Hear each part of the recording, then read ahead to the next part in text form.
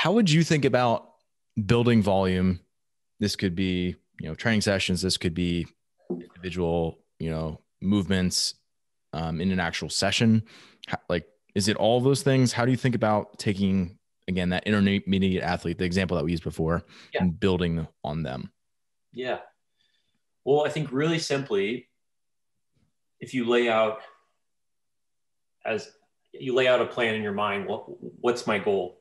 The goal is if let's say a normal week of training, you did a thousand total reps and you can, you know, measure that however you want. And then a year from now, in the same type of cycle, same time of the year, you know, they're at 1300 reps and they're adapting, recovering to it. Like that's very, very reductionist on what you're trying to do with volume over time is you're trying to just, you need more gross volume in the training. Mm. So how do you, how would you do that? So if you have this intermediate person, you're trying to make them go to the semis. Well, first we need to think about functional volume as in the amount of reps that are required in the sport. So to use easy examples, like you just said, 19.5, 105 chest or 105 thrusters. And that's about consistent with what is functional volume of those movements in the competitive setting at the open sanctional levels. Like you should be able to do 100 chest to bar in a workout without tearing your hands and without having to do singles. And you should be able to do thrusters around 100 at those RX weights.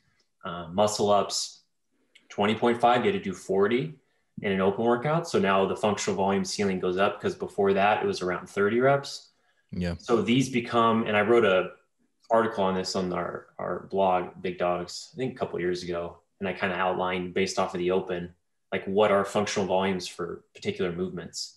And so those become your beacons that you're trying to build somebody towards in their training. Like you need to be able to do 100 chest to bar, you know, on a Monday, and then 100 on Friday and recover and not tear your hands, like just as one idea. And if you're getting closer to that over time, then you can say like, okay, you're you're moving in the right direction for the sport. Mm-hmm. So we have functional volume.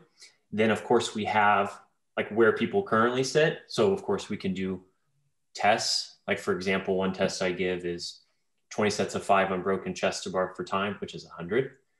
And elite people do that in the low fours or under four minutes, depending on body weight. Um, and then five or four, four and a half to five and a half minutes is, is still good and competent.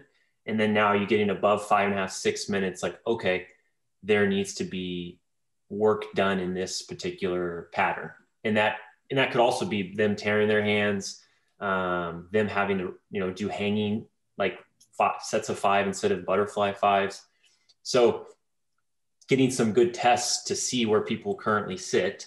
Because let's say somebody does the hundred, the 20 sets of five in seven minutes, and they were doing smooth butterfly reps through 60 reps, and then the last 40 were just death. Then that tells you that right around 60 to 65 is kind of their threshold right now of what their system can handle.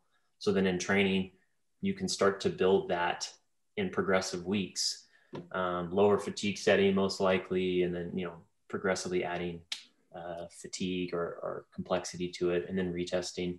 And that's just for one skill out right. of a hundred. Yeah. So that becomes challenging because then you have to ask yourself, okay, well, what are what are the lowest hanging fruits? What pieces are lacking the most? And then now let's figure out how we're going to prioritize those and work on them for extended periods of time while we're touching other things. Because that's essentially, I would say, what you're doing with these intermediate, trying to get them towards advances.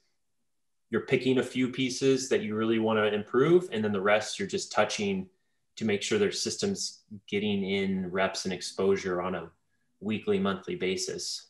Um, because you can't can't do everything every cycle. It's like you need one or two main priorities. That's always kind of my hardcore rule. It's like, what are my two priorities for the next four or five weeks.